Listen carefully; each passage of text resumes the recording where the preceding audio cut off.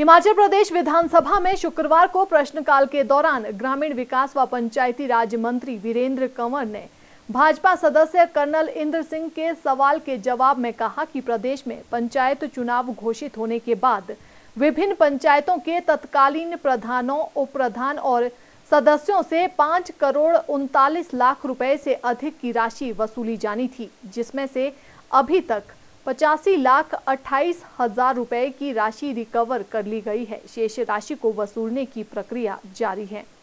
ग्रामीण विकास एवं पंचायती राज मंत्री वीरेंद्र कंवर ने एक सवाल के जवाब में कहा कि पंचायत प्रधानों उप प्रधानों और सदस्यों से रिकवरी की जा रही है। वहीं इस दौरान कुल्लू के विधायक सुंदर सिंह ठाकुर ने आनी विकास खंड की कुंगस पंचायत में हुए गबन का मामला उठाया। इस पर ग्रामीण विकास मंत्री ने कहा कि इस पंचायत में तेईस कार्यों में सत्रह लाख का घोटाला अभी तक उजागर हो चुका है। उन्होंने कहा कि इस पंचायत में 200 से अधिक विकास कार्य हुए हैं और इसकी जाँच जारी है। पंचायती राज मंत्री ने कहा कि यदि कोई दोषी पंचायत प्रतिनिधि गबन की राशि को वापस नहीं करता है तो उसकी संपत्ति को जब्त किया जाएगा। और बारह दशमलव पाँच शून्य फ़ीसदी ब्याज भी वसूला जाएगा। वहीं शिक्षा मंत्री गोविंद सिंह ठाकुर ने विधायक विनय कुमार, किशोरीलाल, वीरभद्र सिंह और हर्षवर्धन चौहान के संयुक्त सवाल के जवाब में कहा कि एसएमसी शिक्षकों को नियमित करने का सरकार का फ़िलहाल कोई इरादा नहीं है। उन्होंने कहा कि इन शिक्षकों की सेवाएँ जारी रखने के लिए प्रदेश सरकार और एसएमसी शिक्षकों की एसएलपी 24 नवंबर 2020 को सुप्रीम कोर्ट में स्वीकार हो चुकी है। सुप्रीम कोर्ट ने इन शिक्षकों को हटाने संबंधी प्रदेश हाईकोर्ट के फैसले को भी निरस्त कर दिया है। इसके बाद प्रदेश सरकार ने इन शिक्षकों की सेवाएँ जारी रखने के लिए 25 जनवरी 2021 को आदेश जारी कर दिए हैं। उन्होंने ये भी स्पष्ट किया कि सुप्रीम कोर्ट ने इन शिक्षकों को नियमित करने का कोई आदेश नहीं दिया है। जो सर्वोच्च न्यायालय का जो आदेश है, अभी हम उसकी अनुपालना कर रहे हैं। हम सभी को इस संबंध में मालूम है कि 14 अगस्त 2020 को मान्य उच्च न्यायालय के द्वारा इनकी सेवाओं को समाप्त करने के आदेश प्रदान किए थे।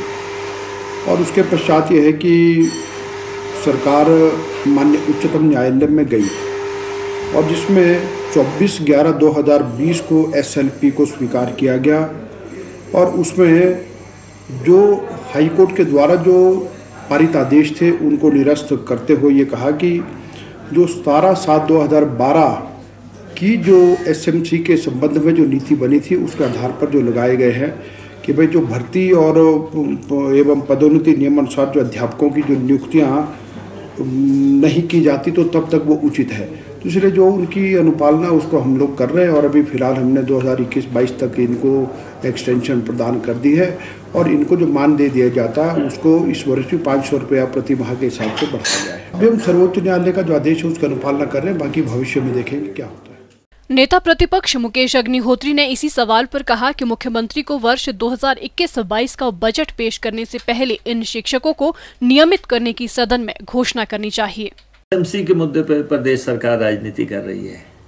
आ, कि कोई फैसला जो है देश की सबसे बड़ी अदालत से आ जाए ए, और आप उसको इम्प्लीमेंट करने के तरीके जो हैं इस ढंग से ईजाद करें कि उनको जो है एक साल की एक्सटेंशन दे दें उनको रेगुलर करने की बजाय। ये गलत बात है। हाई कोर्ट का उनके खिलाफ फैसला आया सरकार जो है सुप्रीम कोर्ट में गई। सुप्रीम कोर्ट में और वो जो प्रभावी लोग थे, वो सब लोग सुप्रीम कोर्ट में गए। अब जब उन्होंने हाई कोर्ट का फैसला, हाई कोर्ट से फैसले को निरस्त किया गया और सुप्रीम कोर्ट ने उनकी सेवाएँ यथा बहाल रखी। अब जब वो पूरा कार्यकाल कर चुके हैं और जो है पात्र हैं रेगुलर होने के तो उनको इस बजट में रेगुलर किया जाना चाहिए था। अभी भी मौका है, कल बजट जो है, मुख्यमंत्री जी ने पारित करवाना है। उससे पहले मुख्यमंत्री जी अपने बजट में इनको शामिल कर सकते हैं। वो चाहें तो एसएमसी के सब लोगों को इसी सत बजट में रेगुलर करने का ऐलान कर सकते हैं। कोई बहुत बड़ी बात नहीं रह गई है। ये सिर्फ़ अब संकीर्ण राजनीति इसमें एक पेज फंसी हुई है कि ये कब लगे थे, किसने लगाए थे क्या कैसे है। जब जब देश की सबसे बड़ी अदालत का फैसला आ गया है। Government should implement those orders in letter and spirit और एसएमसी के सब लोगों को पक्का कर दिया जाना चाहिए।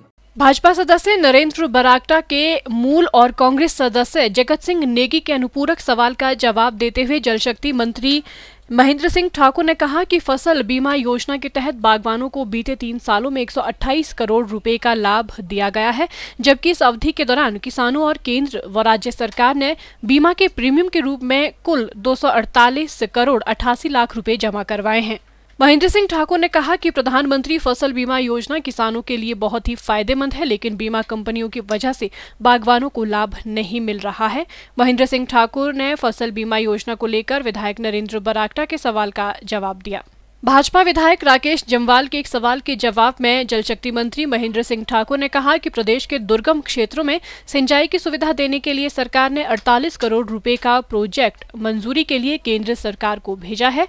उन्होंने कहा कि उठाऊ पेयजल योजना डहर और इसके साथ लगते गाँव के लिए 2021-22 के लिए योजनाओं को पूरा कर गाँव के लोगों को पानी देना सुनिश्चित किया जाएगा। वहीं भाजपा विधायक रमेश ध्वाला ने निर्माणाधीन भवनों का निर्माण कार्य समयबद्ध तरीके से पूरा करने की मांग की। उन्होंने शिक्षा मंत्री से पूछा कि कब तक भवनों का काम पूरा हो जाएगा। जिस पर शिक्षा मंत्री गोविंद सिंह ठाकुर ने कहा कि ज्वालामुखी विधानसभा क्षेत्र में उनतीस पाठशालाओं के भवन निर्माण के लिए छह करोड़ आठ लाख चौंतीस हज़ार रूपए की राशि मंजूर की गई है। इसमें 21 जनवरी 2021 तक 11 भवनों का निर्माण कार्य पूरा हो चुका है। पाँच भवनों का निर्माण कार्य प्रगति पर है और तेरह भवनों का निर्माण कार्य अभी तक शुरू नहीं किया गया है। रमेश धाला ने सदन में मामले को उठाते हुए कहा कि उनके विधानसभा क्षेत्र में शिक्षा विभाग ने एक तो बिना मंजूरी के स्कूल खोल दिए, दूसरा, लोक निर्माण विभाग ने बिना बजट के ही स्कूलों के टेंडर कर दिए। उन्होंने कहा कि ठेकेदारों को अब पैसा नहीं मिल रहा है। Bureau report, city channel Shimla.